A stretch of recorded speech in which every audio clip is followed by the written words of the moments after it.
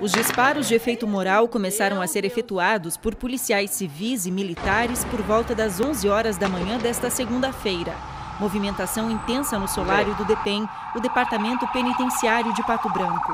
A ação para conter os detentos assustou moradores e empresários do entorno.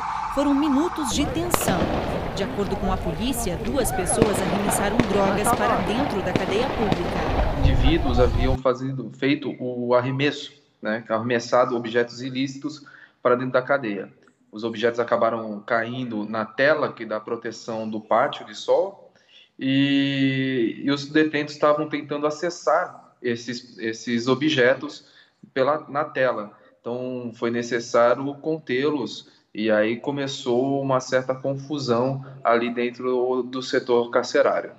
Apenas foram disparos com borracha, com bala de borracha. Isso, com munição não letal. A ação rápida dos policiais civis e militares impediu transtornos maiores. Duas pessoas foram detidas. A polícia militar pegou uma pessoa que teria feito o arremesso e a polícia civil pegou outra. É, um deles era menor, então foi feito o procedimento próprio de adolescente e, e liberado pelo responsável. E o maior foi feito a prisão em flagrante dele.